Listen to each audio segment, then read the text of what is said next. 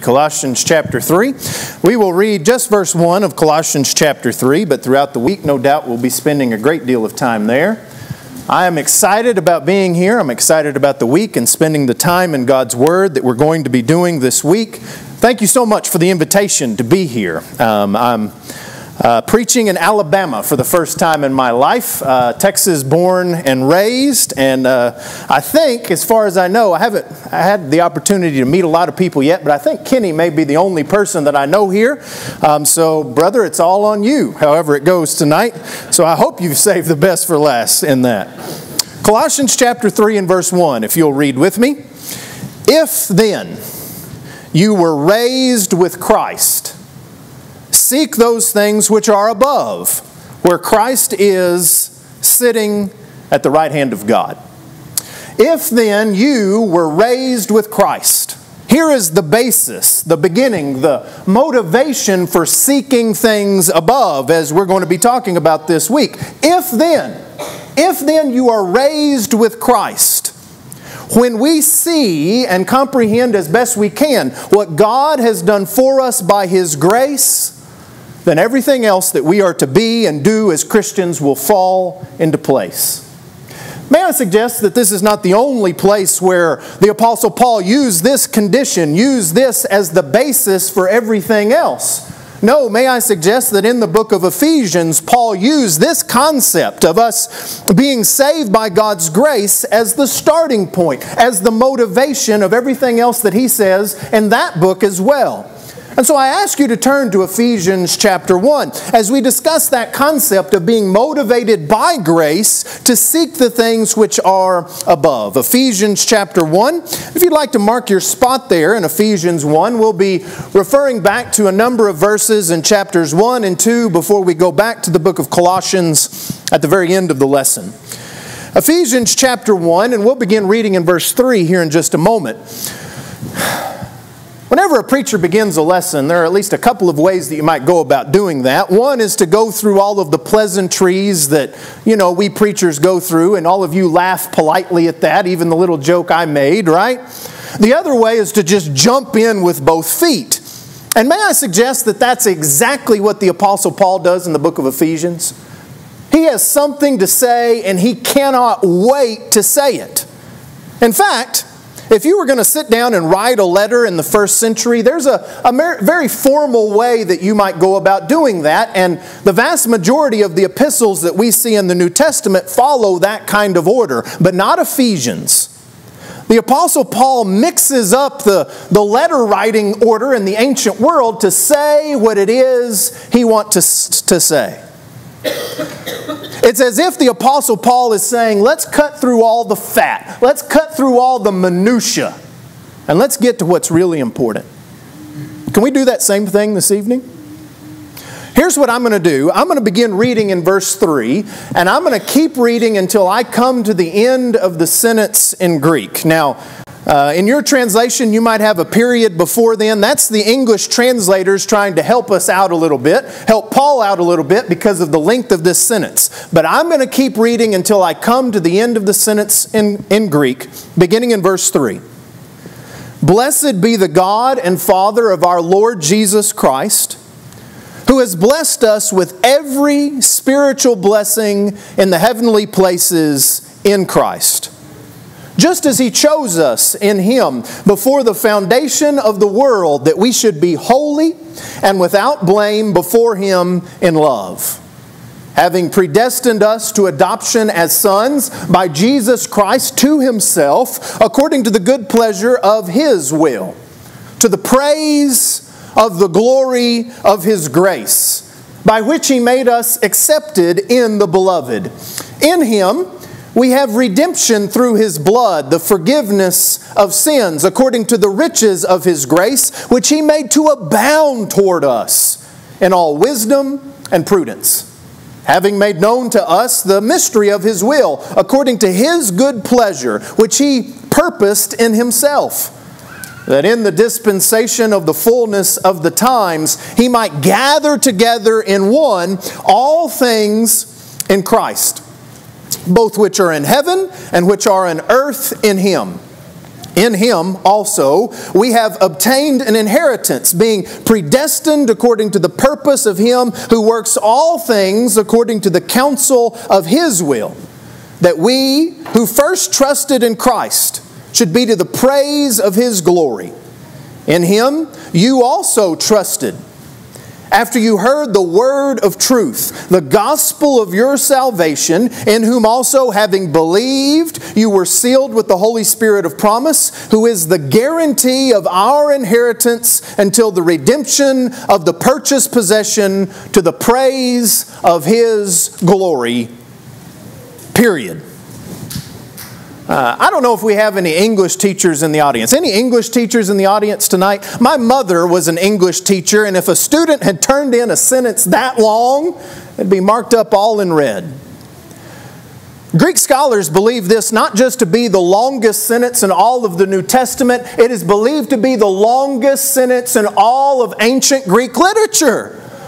The Apostle Paul has something to say, and he can't wait to say it. And what it seems that the Apostle Paul wants us to see, what he wants the church in Ephesus to see, are those spiritual realities behind everything else before he can address anything else. The Apostle Paul says, let's talk about what's really important the spiritual blessings of God's grace in Jesus Christ. As he says there in verse 6, to the praise of the glory of his grace. Praise God for his glorious grace. Amen? Amen. Amen. This is the basis, the motivation for everything else that we do that is of a spiritual nature. We seek things above because of the power of God's saving grace in our lives out of gratitude for what God has done for us. And so, beginning in verse 15, the Apostle Paul prays a prayer on behalf of these brethren. He says, Therefore, I also, after I heard of your faith in the Lord Jesus and your love for all the saints, do not cease to give thanks for you, making mention of you in my prayers that the God of our Lord Jesus Christ, the Father of glory, may give you the spirit of wisdom and revelation in the knowledge of Him. What does that mean? Well, he explains it. Verse 18 the eyes of your understanding being enlightened that you might know what is the hope of his calling, what are the riches of the glory of his inheritance in the saints, and what is the exceeding greatness of his power toward us who believe, according to the working of his mighty power, which he worked in Christ when he raised him from the dead and seated him at his right hand in the heavenly places far above all principality and power and might and dominion and every name that is named, not only in this age, but also in that which is to come. And he has put all things under his feet and gave him to be head over all things to the church, which is his body, the fullness of him who fills all in all.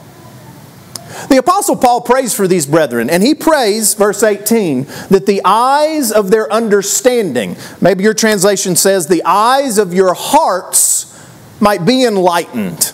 Now, the eye is the instrument by which we what? We see, by which we perceive the physical reality around us. But the heart, the understanding, is the instrument by which we see what? By which we can perceive the spiritual realities that are around us. And so the Apostle Paul's prayer for these brethren is that they might see spiritually, that they might understand and see and comprehend as best they can all of these wonderful blessings that they have in Jesus Christ according to God's grace. And may I suggest that my prayer, my prayer for our efforts this evening, is exactly the same thing that the eyes of our understanding might be enlightened and that we might see as very best we can what is, number one, the hope of our calling. What are the riches of the glory of His inheritance in the saints? And what is the exceeding greatness of His power toward us who believe, which is primarily manifested in His raising Jesus from the dead and exalting Him to the right hand of God? And if we can perceive that, well, let's be honest. We can't. We can't fully perceive that. But if we get a glimpse of what God has done for us by His grace in Jesus Christ, then we will be motivated to seek things above. Now, after all of that positivity, after all of that grace, chapter 2 seemingly comes out of nowhere. Because the Apostle Paul says in verse 1 and you who were dead in trespasses and sins. Whoa, wait a second. What about, what about all of this grace business? What about all of this blessing business? We are not going to fully comprehend what God has done for us until we see where we were without Him.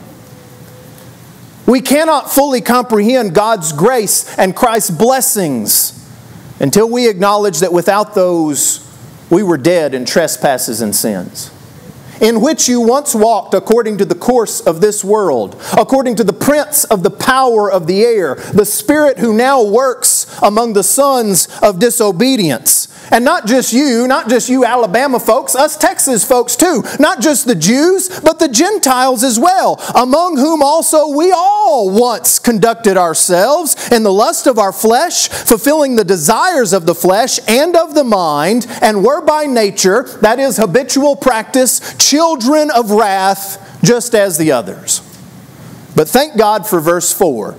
But God, who is rich in mercy, because of his great love with which he loved us, even when we were dead in trespasses, made us alive together with Christ. By grace you have been saved.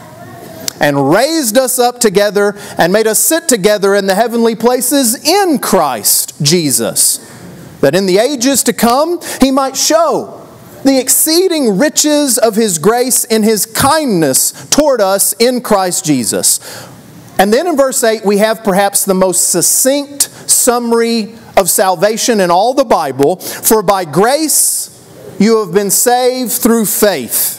And that, not of yourselves, it is the gift of God, not of works, lest anyone should boast. For we are his workmanship, created in Christ Jesus for good works, which God prepared beforehand that we should walk in them. Salvation is explained by Paul with just two words For by grace you have been saved through faith.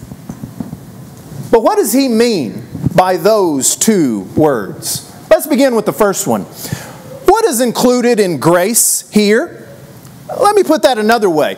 When he says we are saved by grace, is that just talking about one thing that God did? In the context of the book of Ephesians, God did a lot of things by His grace, didn't He? It's talking about everything that God did to bring about our salvation. His eternal plan that He had before the foundation of the world was by grace. The working out of that plan through the Old Testament in the family of Abraham, that was by His grace. The sending of Christ Jesus to come and live as a man on this earth was by grace. His sacrifice, His resurrection, His ascension, the sending of the Holy Spirit and the revealed will of God, all of that was by God's grace. And yes, everything that is described in those preceding verses that we read, all of that is by God's grace. And so, grace is that one word that summarizes God's part of salvation.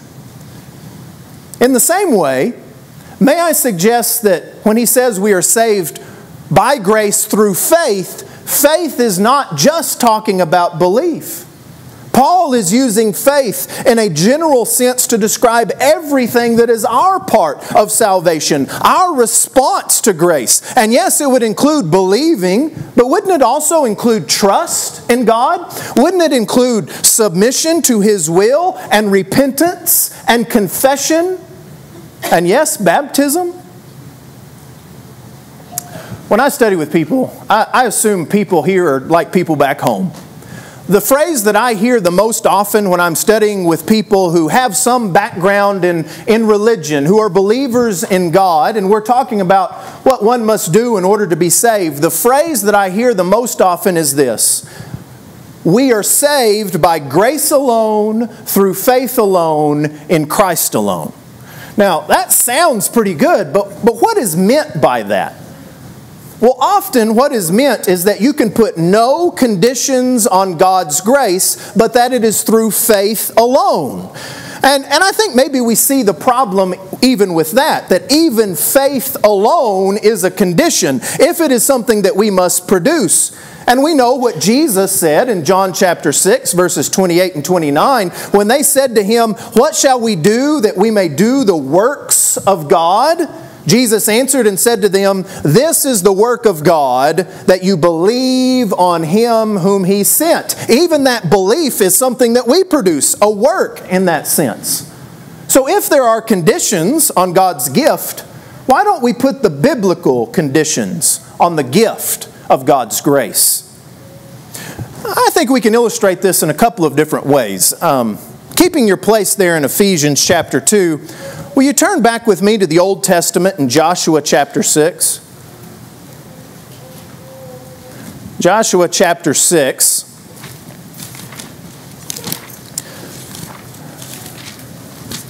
My girls are seven and five, and so this is a favorite story in our household, as it is in many of the younger classes. Uh, whenever it's being taught, you can hear the stomping from here, right? It's the story of Joshua as they're about to take the city of Jericho. And beginning in verse 1, what does the text say? Now Jericho was securely shut up because of the children of Israel. None went out and none came in. And the Lord said to Joshua, See, I have given Jericho into your hand, its king and its mighty men of, men of valor. Now, was that a gift from God? Well, yes, it says he gave it into their hand. But keep reading verse 3. You shall march around the city, all you men of war. You shall go around the city once. This you shall do for six days. And seven priests shall bear seven trumpets of ram's horns before the ark. But the seventh day you shall march around the city seven times, and the priests shall blow the trumpets. And it shall come to pass when they make a long blast with the ram's horns, and when you hear the sound of the trumpet, that all the people shall shout with a great shout. Then the wall of the city will fall down flat, and the people shall go up, every man straight before him. So here's my question. After all of those instructions from God, was it still a gift? Yes. It was a conditional gift. Now, according to some theories of the gift of God's grace, this promise from God, where He says, I have given Jericho into your hands, says number one, that you already have the city and you can't lose it. And number two, no condition could possibly be asked of you because then it would not be a gift. If there's anything you have to do, then it can't be a gift. Uh, but I think we understand that that's not really the case, at least not when we consider things from a physical perspective, when we consider gifts that are given, even big gifts that are given in real life. Um, I like this next example because of who I get to be in this example. Let's imagine for a moment that I am a billionaire philanthropist, all right? I have more money than I know what to do with. And so I'm, I'm here, and I, I know that the campus is right next door, and I did a little research, and I know that y'all have a, a good nursing program here, and I say, let's take that a step further. You know what this campus of UNA really needs? What y'all really need is a medical school and a research hospital to go along with that that's going to be top of the line. The best in Alabama, the best in the South, forget about Vanderbilt, it's going to be right here. And so I go over to the university and I say, you know what? I want you to build a medical school and a research hospital, and I'm going to pay for it. I'm going to give you, let's, let's go big. I'm going to give you $2 billion, and I want it to be the best facility in the world. But my grandfather passed away from cancer. He really did. And he was very, very uh, close to me. He had a great influence on my life. And so, all I ask of you in giving you this money is I want you to name the school after him. I want it to be the Van Cash School of Medicine. Now, does that condition mean that that $2 billion is no longer a gift? I say to my high school kids back home, I need to hear your head rattle. So is it this way or this way? That $2 billion, is it no longer a gift because I put a condition on it? No, it's still a really big gift, a really big gift, right? Well, what if they came back to me and they said, you know what, we'll take the $2 billion, but we're not going to name it that. Don't I have every right as the giver of the gift to say, well, if you don't name it that, then I'm not going to give you the $2 billion. Don't I have that right? I, I, know this sounds crazy, but, but just go with me on this, okay? Let's imagine, take it a step further, that they do name it that, and they take the money, they build the school, and they get this big sign out there, and it says, the Van Cash School of Medicine, and they step back and they look at that sign and they say, Ooh, look at that sign right there. That is a good looking sign. Have you ever seen a sign that good looking? We earned that $2 billion by putting that sign up there. That's silly, isn't it? From a physical perspective, we can see that. That nothing was earned, but in order for the gift to be accepted, conditions had to be met. Uh, keep your hand in Joshua 6. I've got you, your hand here, your marker here, but turn over to Titus chapter 2 for just a second. Titus chapter 2. Titus chapter 2 and verse 11. Titus 2 and verse 11. For the grace of God that brings salvation has appeared to all men, teaching us that, wait a second, God's grace teaches us something. I thought it was a gift.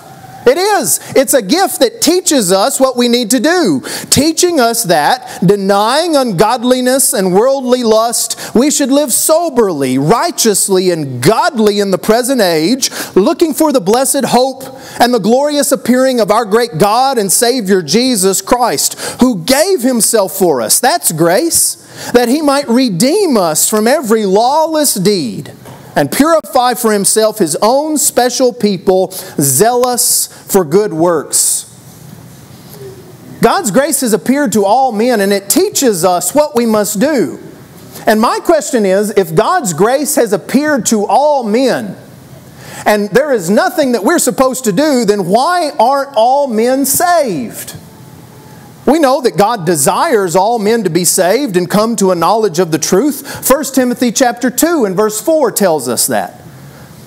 The reason all men aren't saved is because the conditions of salvation must be met in our response to the Lord's invitation, in response to His grace. And we do so, if we're going to summarize it, in that one word faith.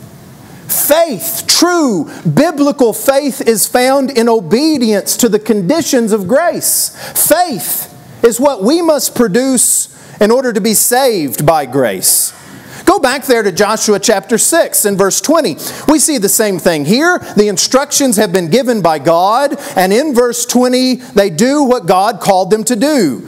So the people shouted when the priest blew the trumpets, and it happened when the people heard the sound of the trumpet, and the people shouted with a great shout that the wall fell down flat. Then the people went up into the city, every man straight before him, and they took the city. Wait a second, they took the city? I thought it was a gift. It is. It is a gift that they took when they fulfilled the conditions, when they fulfilled all of the conditions.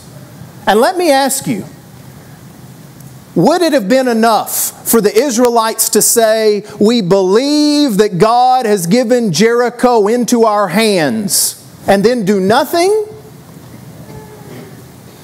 Would that have been enough? Would that have worked? Even more, would that have really been faith? Of course not. They had to take the city. Now, let me ask you did they earn the city in what they did? Was what they did equal to what God did? You ever, you ever wondered why God made them do this, this marching thing and the yelling thing and all of that? I believe He made them do that to show them that it wasn't by their own power and their own might that somehow they earned this and they deserved this. It was to show them that God was the one who was giving them this city. Can you imagine how that conversation went between Joshua and his generals. All right, boys, gather around. Here's the game plan. I'm going to tell you what we're going to do. We're going to march around the city once for six days. Oh, that sounds good. That'll get them really intimidated. And then on the seventh day, we're going to march around it seven times. Oh, that'll really get them going. And then we're going to blow the ram's horns and shout with a great shout, and the walls are going to fall down. Do what? What are we going to do? It was clear that God was the one who gave them this city. But they still had to fulfill the conditions that God placed upon that gift that He was giving them. You know, we see this over and over and over in our Bibles. We see it with Noah in Genesis chapter 6. Obedience, exact, complete, reverent obedience is what we find in Noah. In Genesis chapter 6 and verse 22, in chapter 7 verses 5, 13, and 16, it says that Noah obeyed all that God commanded him to do. But his obedience, his works were in no way in opposition to God's grace. Before any of that, in Genesis chapter 6 and verse 8, it says Noah found grace in the eyes of the Lord. In 2 Kings chapter 5, Naaman, that Syrian general, he comes to Elisha to be healed. And God gives him a great gift. He says, Go wash in the Jordan River, dip seven times, and you will be made clean from this disease, this leprosy that you have. And what was Naaman's response? He says, We've got better rivers back in Syria. Well, he was right about that. I've seen the Jordan River. We'd call it a dirty old creek back in West Texas. But the power was not in the water, the power was in God. And it was not until he dipped seven times in the Jordan River that he was made clean. We think about in the New Testament in John chapter 9, that blind man in the pool of Siloam. You remember this account. That's the one where Jesus spit on the ground and he made mud and he put it on his eyes and he said, Go wash in the pool of Siloam. And you can imagine this blind man stumbling down the steps to get to the pool. And he washes and he can see again. And what does the text say? He went and washed and came back seeing. Jesus gave this man a great gift, but he was not healed until he fulfilled the conditions that Christ placed upon that gift. And yet, still, that concept, the gift of God, salvation by grace through faith, it still bothers some people. And for many, it's because they have ingrained in their thinking from years of teaching that works negate gift status. If there are any works involved, then it's not a gift. And I'll be honest, maybe sometimes our answer to that is not always the best. They say works negate gift status, and we say, no, they don't. Works don't negate gift status. Well, let me ask you can works negate gift status? Can the conditions that are placed upon a gift become so large, so burdensome, that it's not really a gift anymore? Is that possible? Think about some of the greatest gifts that we might be given. Uh, I asked a group of high school boys, you know, what's the greatest gift somebody could give you? Um, they came up with a bunch of sports cars and so forth, right? It's my illustration. We're going to make it a cherry red Corvette. I want you to imagine, maybe go back, maybe go forward, depending on where you are in life. I want you to go back to graduation day. And I want you to imagine for a moment that your parents or your grandparents, uh, they come to you and they've got this little box and you open it up and in there are a set of car keys. And so you go out into the parking lot and you're hitting the clicker, seeing which one it is, and there, there it is. There's the cherry red Corvette. And so your parents say to you, here's your brand new Corvette. It's bought, it's paid for. We're even going to pay the insurance on it. Is that a gift? Maybe it's not a smart gift, but is it a gift? Absolutely, it's a gift. But let's just change one thing about that. Let's imagine for a moment same box, same excitement, same car keys, same cherry red Corvette, and they say, Here's your brand new Corvette. This is all we ask of you. We just want you to pay for half of it. And, and you can pay as you go, just make payments whenever you can. But we want you to pay for half of this Corvette and it's yours. Is that a gift? Uh, yeah, it's, it's, it's getting there, but it's still kind of a gift, right? Well, let's imagine for a moment it's the same car keys, the same beautiful car, Corvette, and they say, Here you go, son, here's your brand new Corvette. Good luck with the car payments, good luck with the insurance, she's all yours. Is that a gift? No, that's not a gift. You're going to burden a high school graduate with those kinds of car payments, with, with that kind of insurance payments? And so, what we see is that there is a tipping point to where the conditions can become so burdensome in relation to the greatness of a gift that something is no longer a gift. And the bigger the gift is, the more conditions you can place upon it, and it still be a gift. Um, in school, I, I, enjoyed math, but it took me a while. I had to think everything through, but you gave me something visual, a map or a graph or a chart. That's right up my alley. Um, and so I want to illustrate this tonight uh, with the chalkboard over here. Somebody asked me uh, just before the lesson, How old are you? 74. That's how old I am. Um, I want to I want to illustrate it this way. This axis here is the greatness of the gift.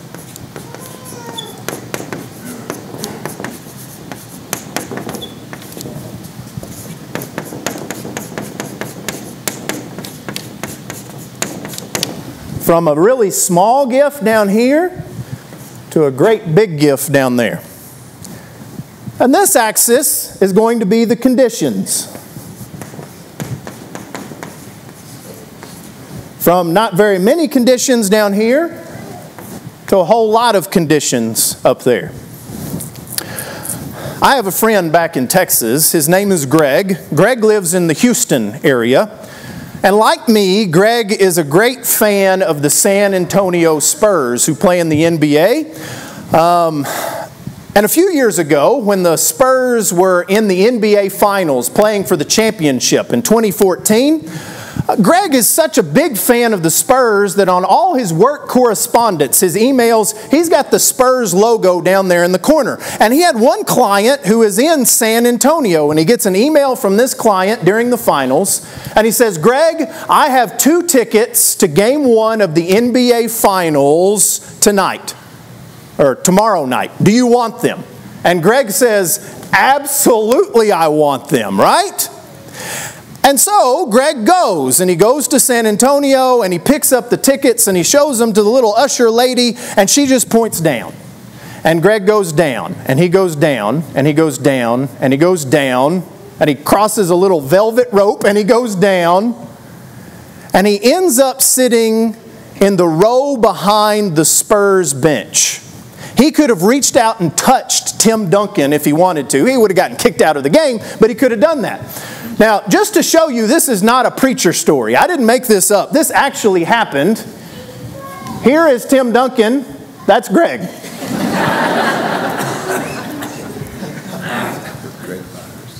That's exactly right. It's Greg Byers. And so Greg strikes up a conversation with the guy next to him.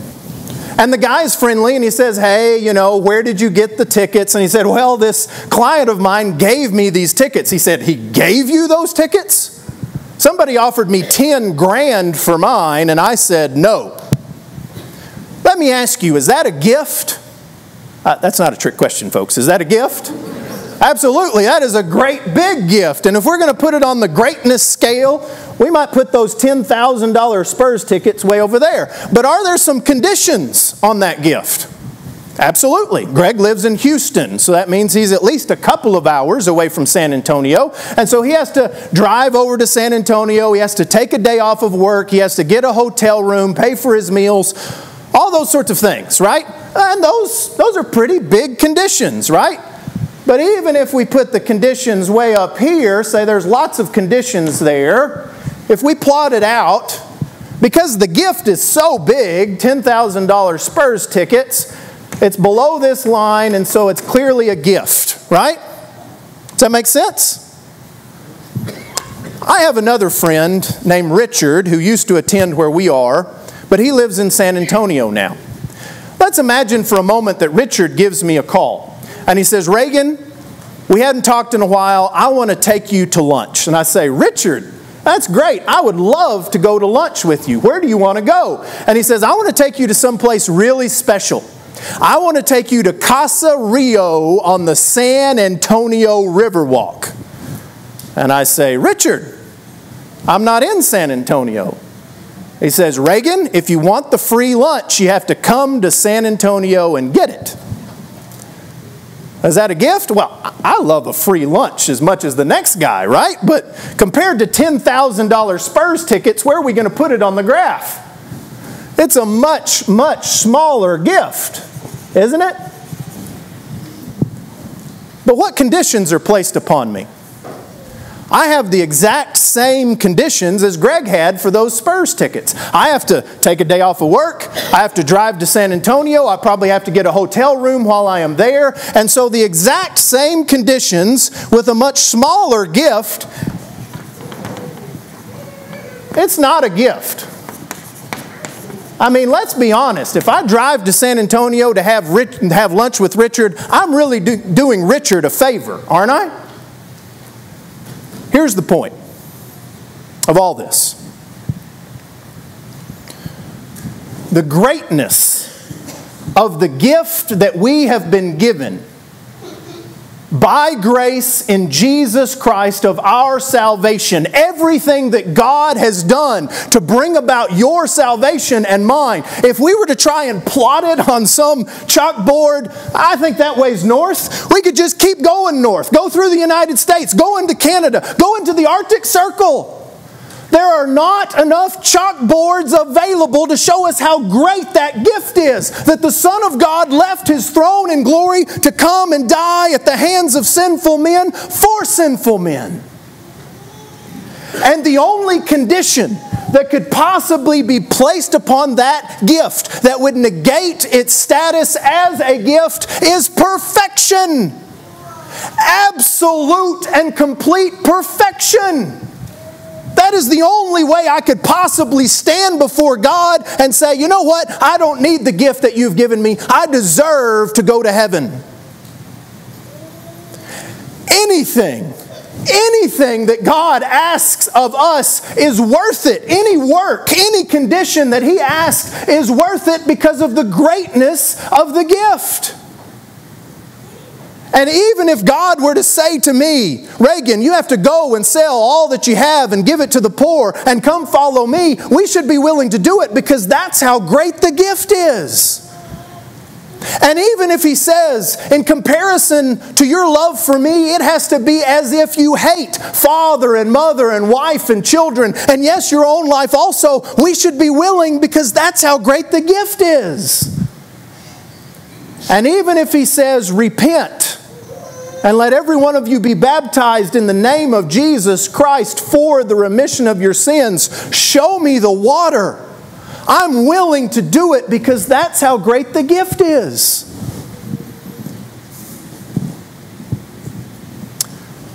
You know what bothers me so much? Is when people come to me in the course of a study and they say, Reagan, you just don't appreciate God's grace. I know my sin better than anybody else. I know that I am not justified before God because of what I have done. I know what He has done for me to save me. And to say that we can put no conditions on God's grace or else it is no longer a gift, it underestimates how great that gift truly is. You know, the Apostle Paul understood this. He understood it maybe better than most. If you turn over to the book of Philippians, notice what he says in Philippians chapter 3. Philippians chapter 3 and verse 7.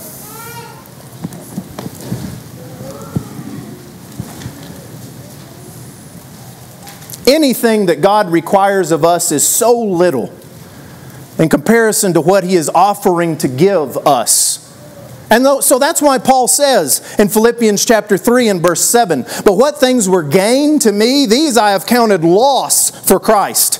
Yet indeed, I also count all things lost for the excellence of the knowledge of Christ Jesus my Lord, for whom I have suffered the loss of all things, and count them as rubbish, as trash, as dung on the trash heap of life, that I may gain Christ. I'll give anything up, Paul says and to be found in him, not having my own righteousness, which is from the law. I didn't earn it, but that which is through faith in Christ, the righteousness which is from God by faith, that I might know him and the power of his resurrection and the fellowship of his sufferings, being conformed to his death. If, and please notice the next phrase, by any means I may attain to the resurrection of the dead.